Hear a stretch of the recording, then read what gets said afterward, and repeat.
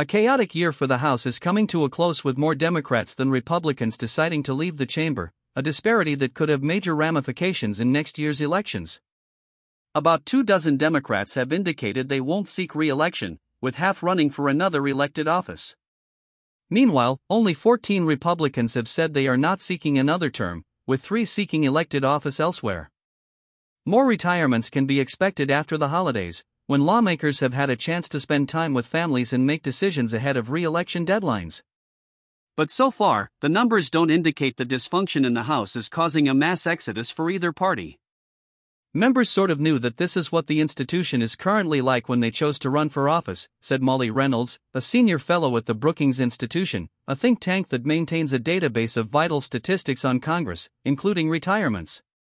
Some of them may well be feeling frustrated at this point in time, but anybody who has been elected to Congress in recent years, they're not surprised at what they're finding when they are getting to Washington. Republicans certainly had the most high profile exits. Representative George Santos, Republican New York, became only the third lawmaker to be expelled by colleagues since the Civil War. Representative Kevin McCarthy, Republican California, was the first ever speaker removed from that office by his colleagues. He opted to leave effective December 31 rather than serve among the rank and file. But it's the departure of a handful of Democrats in competitive districts that has Republicans thinking the overall retirement picture gives them an advantage in determining who will control the House after the 2024 elections. Representatives Katie Porter of California, Elissa Slotkin of Michigan, and Abigail Spanberger of Virginia proved they could win toss up congressional districts in good election cycles for Democrats and not so good cycles. They are all seeking higher office within their home states. Porter and Slotkin are running for the U.S. Senate. Spanberger is running for governor in 2025. Democrats are also losing six term Representative Dan Kildee of Michigan to retirement, leaving them with another competitive open seat to defend in a state that will be crucial in the presidential election. Representative Jennifer Wexton, Democrat Virginia, is not seeking re election due to health challenges in a district that leans Democratic but is more competitive than most.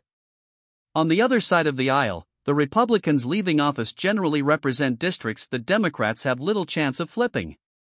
They'll be replaced by Republicans, predicted Representative Richard Hudson, the chairman of the House Republican campaign arm. Retirements are a huge problem for the Democrats. They're not a problem for us, Hudson said, the exception is Santos, who represented a competitive New York district. Democrats hope former Representative Tom Suozzi can win back the seat, which he gave up when he ran unsuccessfully for governor in 2022.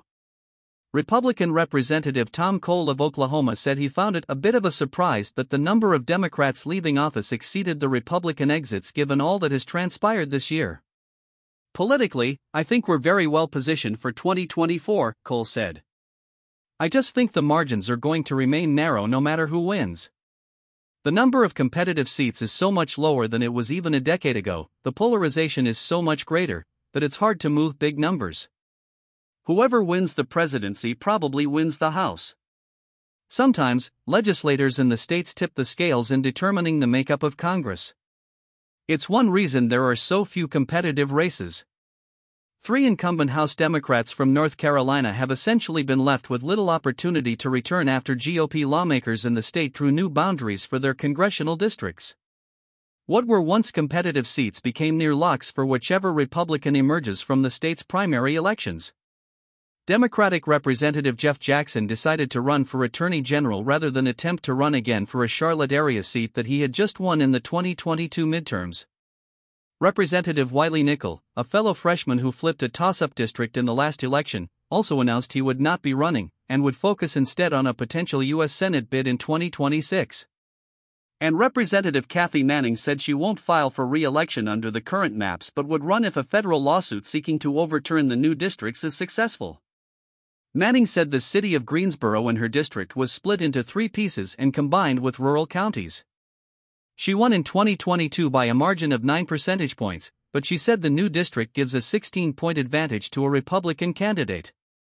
Democrats are hoping court ordered redistricting in Alabama and Louisiana will favor their side and effectively make the redistricting battles a wash. Ambition is also playing a role in the retirement trends. About half of the Democrats not seeking re election to the House are seeking office elsewhere. That includes three members running for the seat once held by California Senator Dianne Feinstein, who entered the Senate in 1992 and served more than three decades before her death in September. Slotkin is running for the seat Senator Debbie Stabenow has held for more than two decades.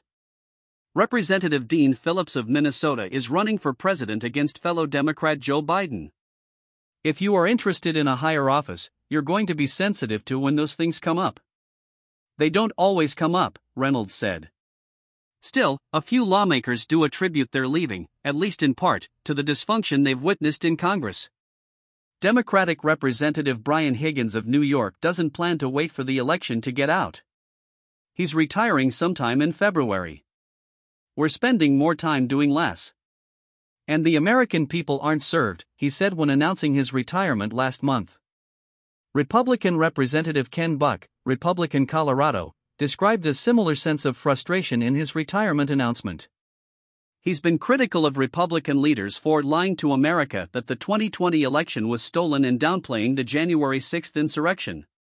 Our nation is on a collision course with reality and a steadfast commitment to the truth, Buck said.